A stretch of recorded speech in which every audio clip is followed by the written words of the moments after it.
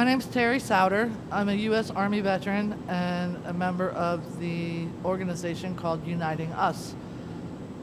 It was founded by an Air Force veteran who saw the therapeutic value of art in her life and wanted to start sharing that with other veterans and family members. So when I found Uniting Us, I got involved quickly with my photography. I have since started to venture into glasswork, and the video that you're going to see today is a video of me actually creating the piece that you will see in the gallery for the exhibit here at the Library of Congress. Um, there are three different color roses. Each rose is significant to Vietnam veterans, this being the 40th anniversary of the Vietnam Veteran Memorial Wall. Uh, the roses signify the veterans that never made it home, the soldiers that died in Vietnam.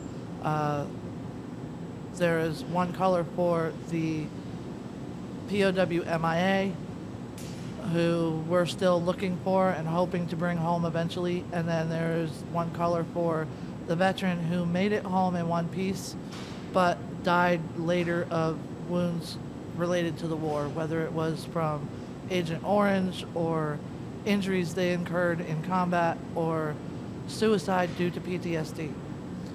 Um, the vase itself has a forget-me-not on it so that we will never forget those who made the ultimate sacrifice and defended our country. Uh, and the glass inside, every time you create a piece, you still have some residual glass on the end of your rod when you break off your piece. You dip that in a bucket of water to shock it and then put it in a bucket of nothing but glass.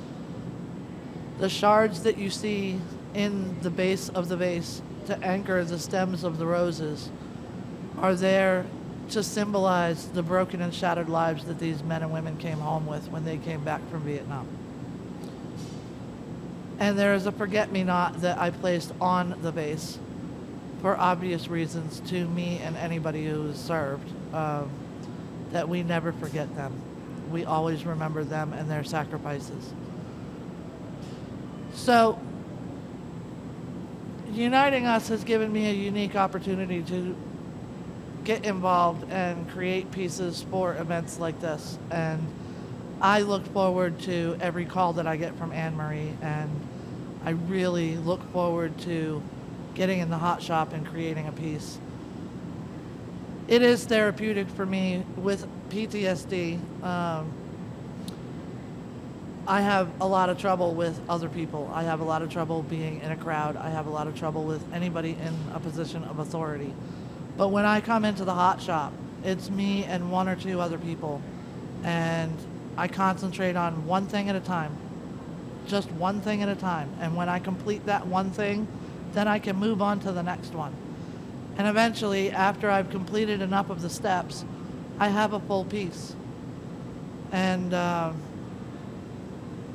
even if it's only once or twice a month for two or three hours, it gives me something to look forward to. It gives me something to focus on, and it forces me while I'm there creating the piece to be in the moment.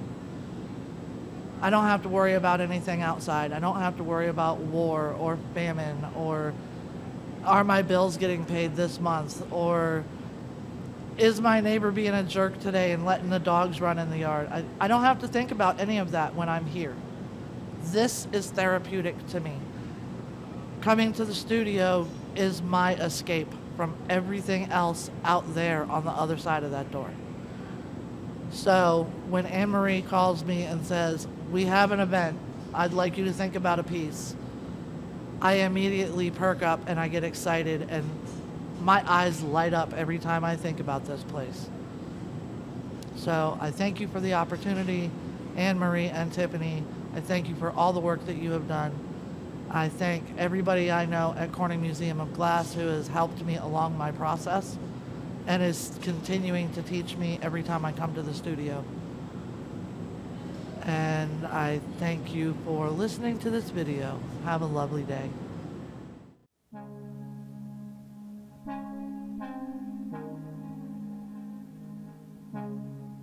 My name is Terri Souder, and I did this piece for the Vietnam Veterans Memorial Wall 40th anniversary this year. The first part that I did was I created roses. Once I gathered the glass, you see me shape it. After it was shaped, I created some color by dipping in frit. Once I had the basic shape I was looking for, I took the tweezers, you pinch and pull, and that forms one of the petals of the rose. As you roll the pipe away from you, you twist the tweezers towards you, getting a counter, and that will give the effect of the curled petals on the rose I took it over to the break off table and giving a gentle tap or two, we were able to break the rose off of the pipe.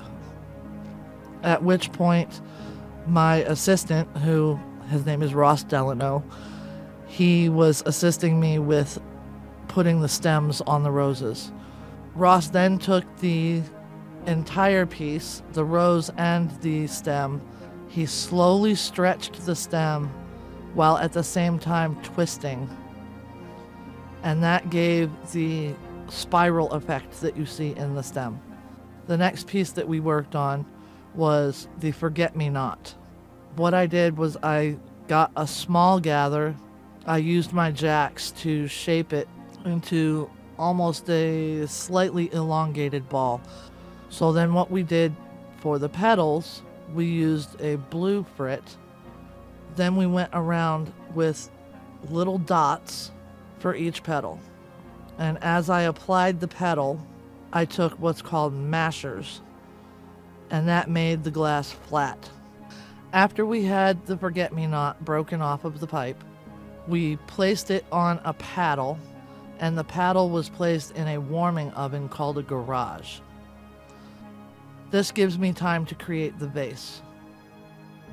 I did two gathers of glass and got what's called a starter bubble. Now that I have the amount of glass on my pipe that I'm looking to use for my piece, I start to shape it.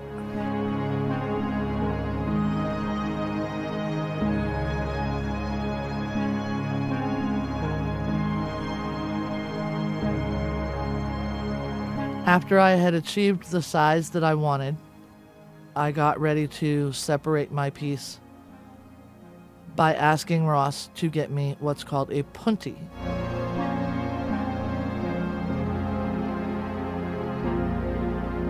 Now that I have transferred to the punty, I take my jacks again and I start shaping the neck with the jacks. As you angle the jack, the mouth slowly starts to widen even without the neck getting wider. As we applied the heat, Ross went and got the forget me not out of the garage.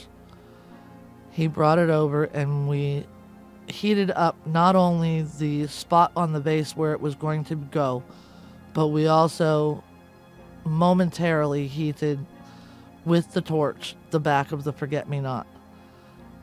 Now that we have the piece completed, we take everything over to the annealer and we place it in the annealer.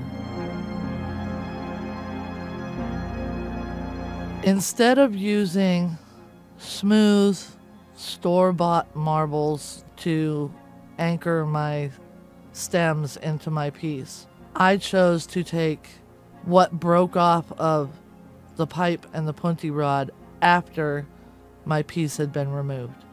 So the shards that are in the bottom of the glass are from the rest of the piece that I created. I was looking to do something to honor the Vietnam veterans. And when I looked up flowers that are used most commonly to honor Vietnam veterans, the first thing that came up was roses. A red rose for the fallen that never made it home, a yellow rose for the POW MIA, and a white rose for the soldiers who made it home but died later as a result of the war. I chose the forget me not so that we would never forget the service and sacrifice of the men and women who went and fought in that war. I used the broken off shards that were remaining on the pipe and the punty so they would still be pieces of the other components of this project. And I did that to symbolize the broken and shattered lives that these men and women came home with when they got back from Vietnam.